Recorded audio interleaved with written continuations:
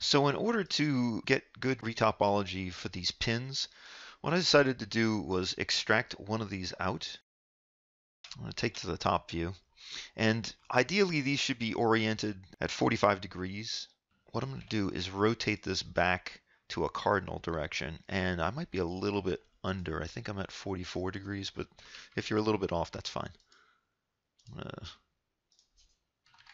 yeah, a little bit off, and I'm the translation of it isn't quite symmetrical, but I'm not I'm not too worried about that. We're just going to try to match topology here.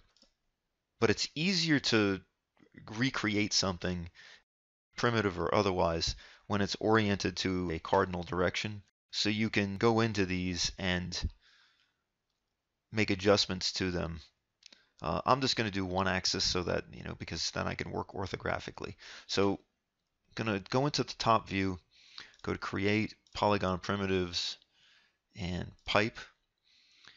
Hold X and then let go. And it may have, there we go, drag the height out. And then anything is fine for these measurements right now.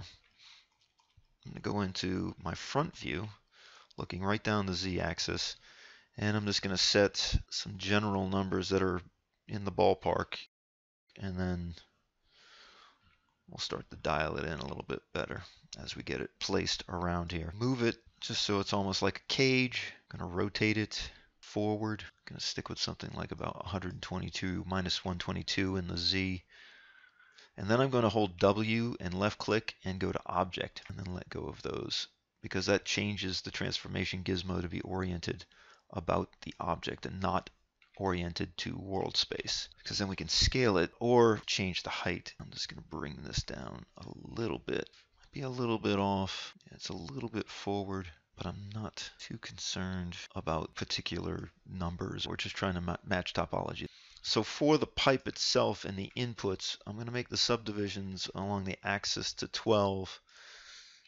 Take the thickness down to something maybe 0.1 or 0.08. Just try to get it a little bit closer. And just by eyeballing it like that, you can get good retopology.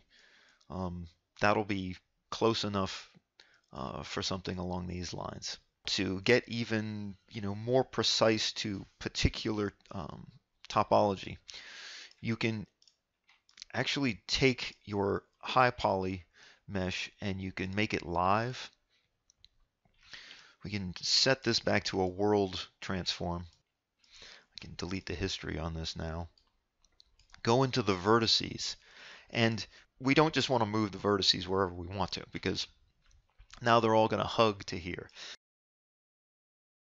And we don't want to go into object mode and move this because if we move it once, it's basically just moving it away. But if I ever try to move this again, it's only going to stay to the outside of the object. See, making it live just kind of forces that pivot to the outside. So the pivot's not really the basis of how I want to change this, it's the vertices. And this is something that you can do with, with retopology, but it also works to just sort of get things to match up. So you can just kind of tap one of the uh, you know axes so that everything starts to hug to it. Then go to W, and instead of moving things along a global or local kind of axis, you move everything along its collective normal.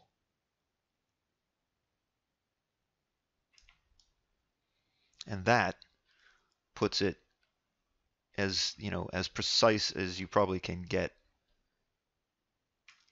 something that's been, you know, retopologized. We don't have to worry about anything going on in here.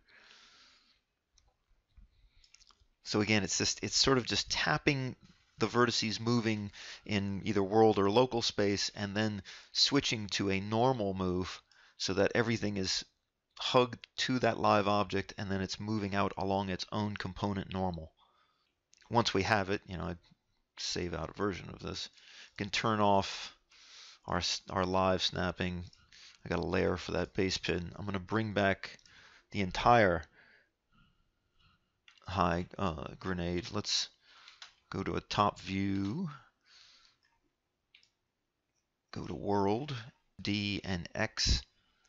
And we're going to bring it right to there. Make sure we freeze those transformations. And then we can rotate this back and hopefully minus 44 should give us just what we need. And it looks pretty good. So to create the rest of this form here, you can go ahead and model it off of this form. Go into multi-cut, hold control, and start to you know, add information in here that's going to help us generate the rest of this. I'm going to take this off by detaching the components, selecting these faces and deleting them.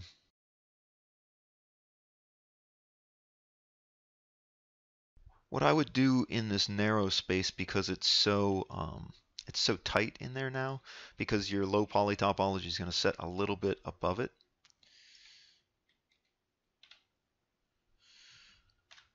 I'm going to delete what I just created.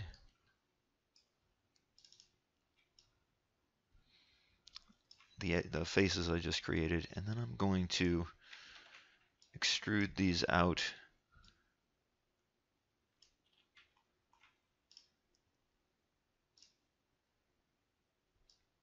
globally. Just scale them out. Let's do about there.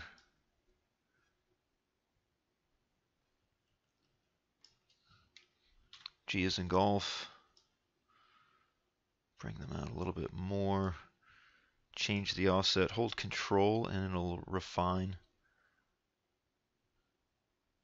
that. If you want to see this shaded, that's what it's looking like shaded right now. G is in golf to extrude again. It's probably going to need to be another global move and then a scale outward.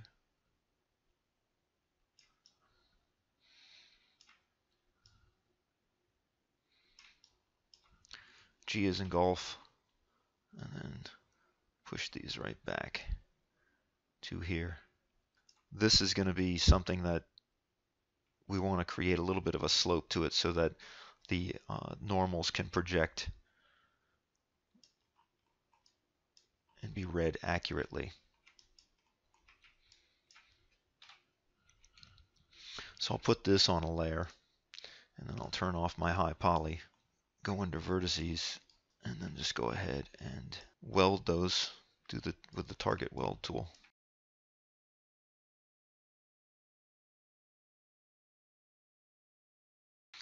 Probably went a bit too far with that, but we can take, we can actually control right click, edge ring utilities, go to the edge ring, bring it in a little bit more.